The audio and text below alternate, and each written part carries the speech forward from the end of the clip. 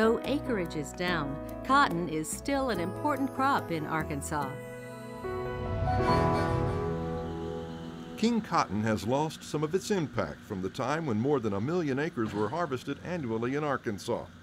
A decline in world demand for the fiber has led to a decline in prices, the closing of several ginning facilities, and has cut the state's cotton acreage by more than half.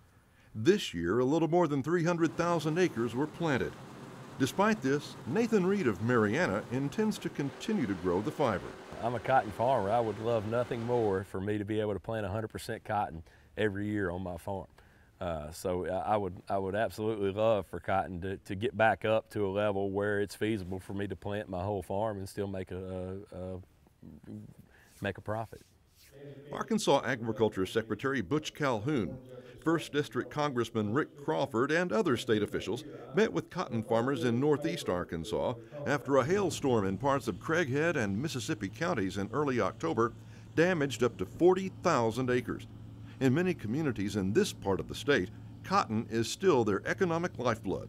Cotton industry, though, is, is not as many acres as we used to have in Arkansas. It's still one of our, one of our major crops. Uh, it's very important to these communities with the gins and all the backups and stuff they have and, and all the industry that supports them. Plus, uh, you know, we're wanting the industry to grow back again. We're wanting, I would like to see at least 600,000 acres of cotton in Arkansas every year. And, uh, and the, the crop this year was very good. Uh, I've heard some talks up here of 1,800 pounds to the acre, and then these guys are saying their, their crop's just lost. It's very devastating. Before the storm, the National Agricultural Statistics Service forecast that farmers would harvest around 314,000 acres. Now, several thousand acres will likely be abandoned in the two counties. Despite this, because of technology such as pickers with onboard module builders becoming more common, cotton should remain an important part of the Arkansas landscape. Now there's some technology changes that I think will help facilitate a bounce back in cotton acres.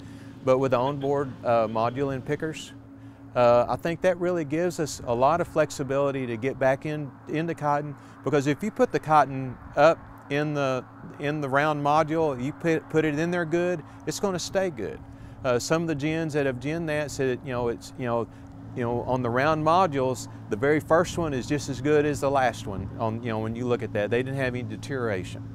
And so what some of the gins are looking at is, is uh, not necessarily in getting bigger, because you know we're losing gins, but looking at a longer growing season.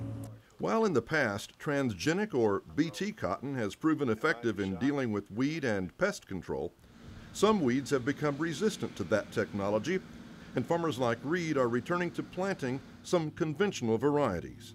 Now we have uh, worm control and, and, some pesticides that have good residuals, so we're able to control the bollworms in these uh, in these conventional varieties. So next year I plan to have uh, about a thousand acres, up to a thousand acres of conventional cotton.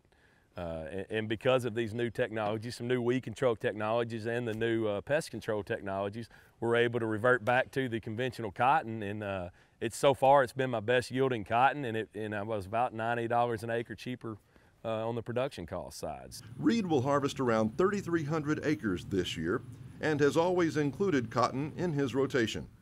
His family's like many others in East Arkansas, where it's been a part of the fabric of their communities for generations, and hopefully will for generations to come.